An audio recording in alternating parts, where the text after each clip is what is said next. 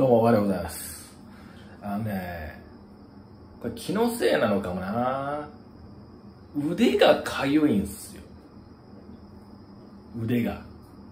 で、僕はもう、えっ、と、8月の17日にワクチン2回打ってるんですよ、もう。2回打ち終わってるんです。1ヶ月経つわけですよ。でも、なんか、こうかゆいってのがあると、これがモデルナアームってやつかっていうふうに思うんだけれども、実際どうなんですかね結構乾燥肌でね、かゆいのはもともとあるんですよ。だから、違うのかなって思うんだけれども、うーん、まあ、違うかどうかわかんないねでアップした方が再生数伸びるじゃん い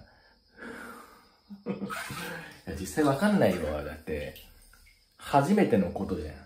みんな初めてなんだから。ファーストワクチン打っちゃったマンだからさ。だからみんなこう、このかゆいのはこれはワクチンによるものなのか、それとも乾燥肌によるものなのかっていうのがわかんないわけだよね。いや、結構でもね、かゆいんですよ。なんか。まあ、ボリボリ書くほどじゃない。たまに、ちょっとかゆいなと思って、ちょっと触って、まあ、書くぐらい。書くんじゃん。書きはするんじゃん。ねなこともやってますわ。で、もう、1ヶ月前も2回打っちゃってるんで、まあ、何かあっても大丈夫でしょう。うん。ね。という具合でございます。私、明日から、えー、1泊2日？小田原？違う違う。明日は小田原。明後日は、あのね、真鶴っていうところですね。湯河原の近くですね。そこにちょっと用事で行くわけなんですけれども。あ何か、何か予定を入れたいなと思うんだけど、特に予定もねえから、うん、前乗りを一応するけれども、うん、なんて具合です。何にも、何にも本当に考えてないので、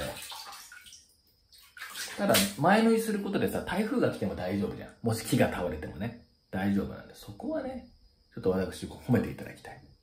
じゃらんで、3800円の宿を買いましたから、ね、予約したんです。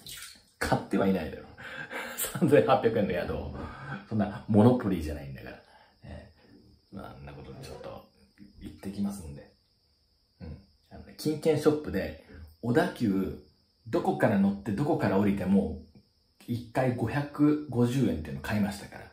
あの、株主優待券なんですってね。それ買いました。なんで、この最寄り駅近くの小田急駅から小田原まで550円で行けちゃう。普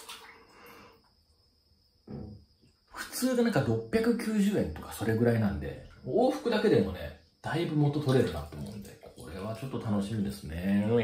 まあ、逐一これ動画をアップしていって、えー、取りためていって、で、あの、ちょっとじっくり僕は休もうかなと思ってますんで、ぜひよろしくお願いいたします。